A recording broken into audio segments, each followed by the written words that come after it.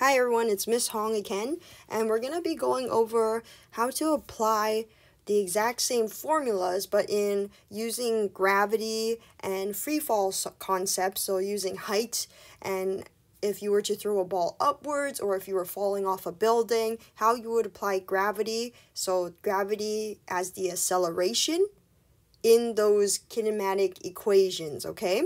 So we're going to go over a few points here an object in free fall experiences an acceleration of minus 9.8 meters per second squared. The minus sign indicates a downward acceleration. So whether it's stated or not, the value of the acceleration in the kinematic equation is minus 9.8 meters per second squared for any freely falling object, okay? If an object is merely dropped, as opposed to being thrown from an elevated height, then the initial velocity of the object is 0 meters per second. If an object is projected upwards in a perfectly vertical direction, then it will slow down as it rises upwards. The instant at which it reaches the peak of its trajectory, its velocity is also 0 meters per second. This value can be used as one of the motion parameters in a kinematic equation. For example, the final velocity, v subscript f, after traveling to the, uh, to the peak would be assigned a value of 0 meters per second. If this object is projected upwards in a perfectly vertical direction, then the velocity at which it is projected is equal to the magnitude and the opposite in sign to the velocity that it has when it returns to the same height. That is, if a ball projected vertically with an upward velocity of plus 30 meters per second will have a downward velocity of minus 30 meters per second when it returns to the same height. So it's just the opposite sign, but the same velocity. So again, gravity given in your uh, formula sheet is 9.8 meters per second, and we'll be using it as the acceleration in a lot of our equations. So again, I rewrote the equations that are found in your formula sheet that we'll be referring back to when we use our problem solving steps to solve the next few questions that I have for us. Okay, so you can always rewind in the video anytime if you would like to copy down the notes. So example one, Dini drops a pile okay, of roof shingles from the top of the roof located 8.52 meters above ground. Determine the time required for the shingles to reach the ground. So the solution, again, for this problem begins by constructing a very informative diagram of the physical situation. And the second step will then identify the listing of known information. Okay, so list all the known variables from the question onto that diagram. So let's start off by drawing it. So I'm going to draw just a kind of like a height here from a roof. So this is a house. And then from this distance down to this distance, the ground here, we know is 8.52 meters. Okay. The acceleration in this question, so it's freely falling, and we know from point 1 that it's negative 9.8 meters per second squared. And the velocity in which, because she just drops a pile of roof shingles from the top there, she just drops it, so the initial velocity equals 0 meters per second. Okay? Now we have to identify what is the unknown variable. I have it too thick of a pen here. So we are finding, okay, in the question itself, it tells you the unknown variable. We are looking for time. We don't know what time is. Okay, so how long will it take, all right, for the shingles to reach the ground? So we have initial velocity and we have acceleration and we have the displacement or the distance. Now we need time. So let's go back to our equations page and try to figure out which equation we can use. Okay, so we have a bunch of equations here and we know that we don't have the final velocity. So that means it's going to cancel out a bunch of equations that we can use. That means we can use this one right here. So let's transfer that over into our questions page here and write that down. So we can use the equation d equals initial velocity times time plus one and a half times acceleration times time squared. Okay, and now we're going to fill in all the uh, known variables into this equation to find for time. So minus 8.5 2 meters equals 0 meters per second times time, which we do not know what it, what it is, plus uh, 0 0.15 times minus 9.8 meters per second squared times time again squared. Okay? So now we're going to solve some, we're going to make it a little bit more simplified by adding, doing some of the calculations here.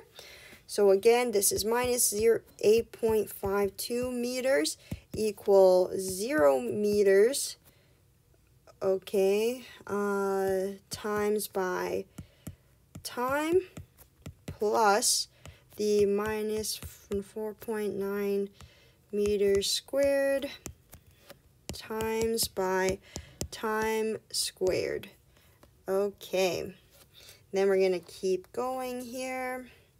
And we have minus 8.52 meters equals minus 4.9 meters per second squared um, by t squared.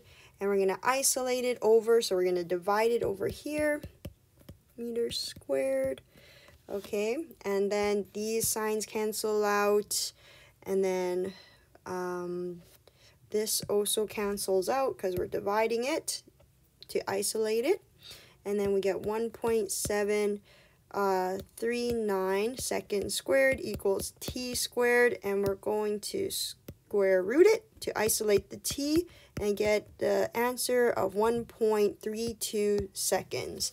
So the solution reveals that shingles will fall for a time of 1.32 seconds before hitting the ground. And now our last step is to make sure that we're checking the answer, to make sure that it's reasonable and it is accurate. The value does seem reasonable enough because the shingles are falling from a distance approximately, um, um, approximately like 10 meters off the ground, and it seems that the answer between 1 to 2 seconds is highly reasonable, especially with that acceleration of 9.8 meters per second. So that's very good. So look back at the equation, see if you understand it. Now I'm going to move on to example number two. Emma throws her mother's crystal vase vertically upwards with an initial velocity of 26.2 meters per second. Determine the height to which the vase will rise above its initial height. Emma better catch that or she getting in trouble.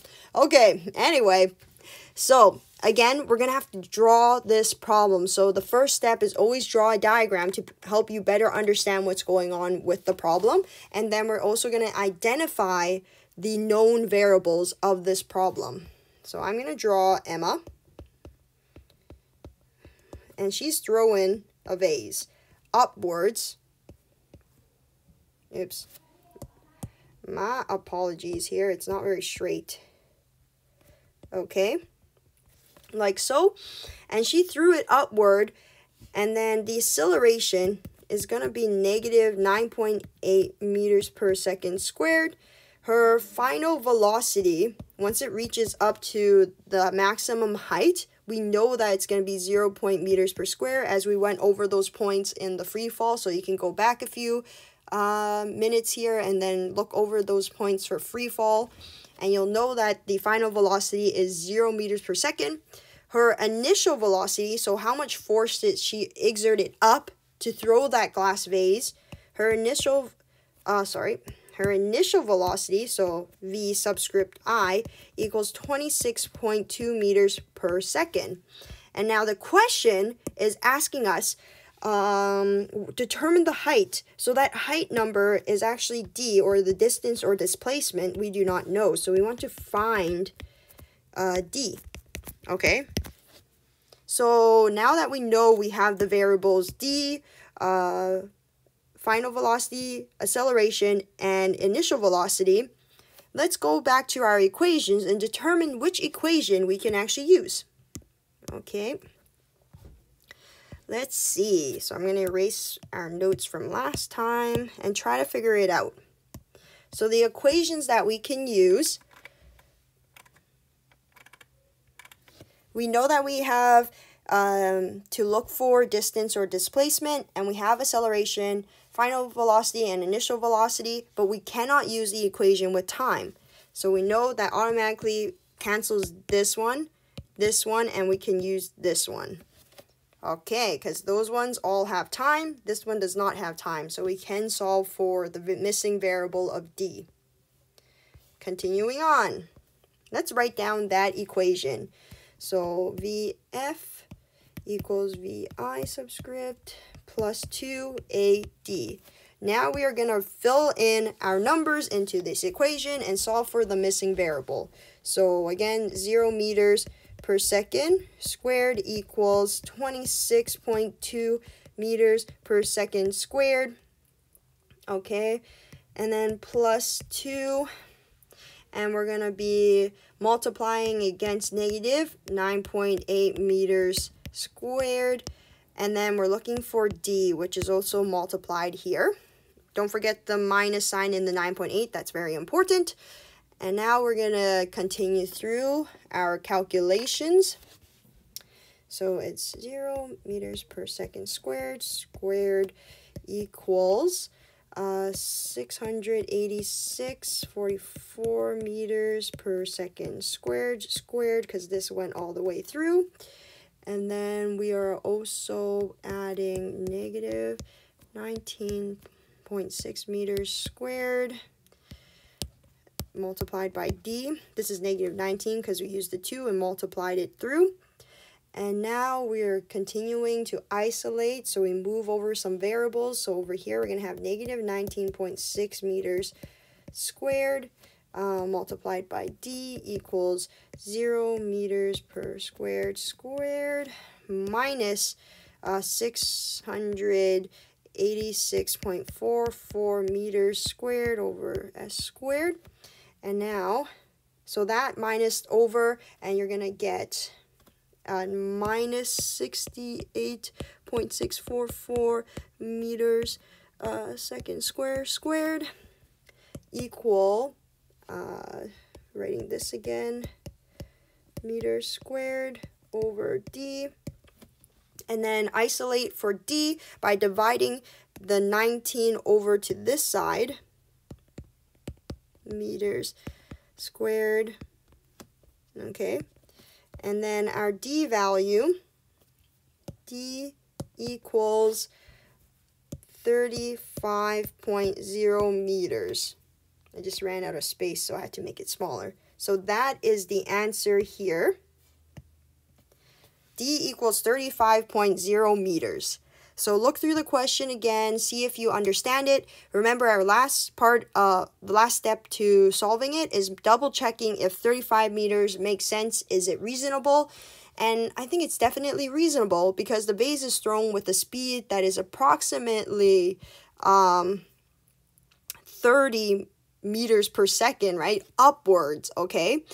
And that speed with the acceleration coming down, I think it's possible that she can throw it 35 meters up. Maybe the glass uh, vase is, or the crystal vase isn't that heavy. So, well, it sounds reasonable. Okay, so look over these uh, videos and also practice those practice worksheets again. Let me know. I can give you another practice worksheet with the answers as well posted. And then attempt your assignment. So all the best. Good luck to everyone. Have a great day.